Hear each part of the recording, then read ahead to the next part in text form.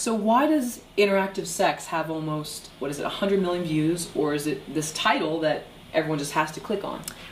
Uh, so I get a lot of that too.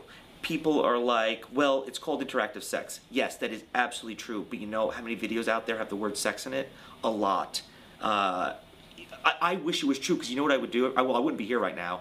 I'd be in a flying yacht because I would make every video called interactive sex and I would be a millionaire. But it doesn't it's not just that. It is part of it. The interactivity of it is, uh, you know, I think it's one of the most in successful interactive videos, and it came out at a time. I think a lot of it was timing. The fact that it's interactive and the fact that you watch it and you are really in control of what's happening is is something somebody sitting there is like, oh, I can I can choose what happens to this idiot. Great, uh, and then it kind of it just you know you get people to watch a whole bunch of videos instead of just one.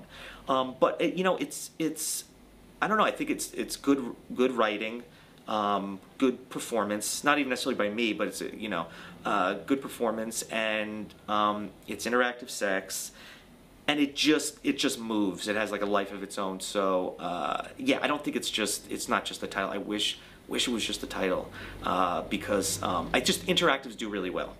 You know, I've, I've been a part and written many interactives, and most of them uh, you know, on, on, the channel Totally Sketch, or in the deep into the millions.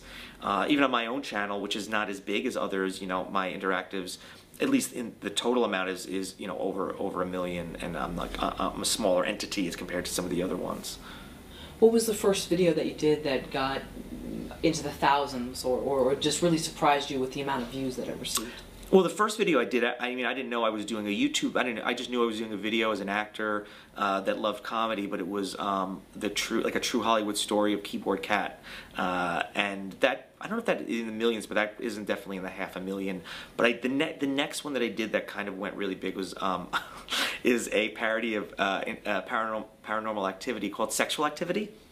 And I remember when I was talking to Michael Gallagher, who's the director, and we were talking, he's like, I want to shoot this like tomorrow. Do you have any ideas? So we talked about it the night before and then just shot it. Uh, and it was timed with the movie. Like that's a lot of it. Like if we did it five months after the movie, it would have done okay.